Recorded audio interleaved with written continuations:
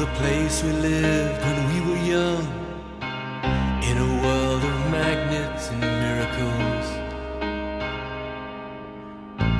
Our thoughts trade constantly and without boundary. The ringing of the division bell had begun.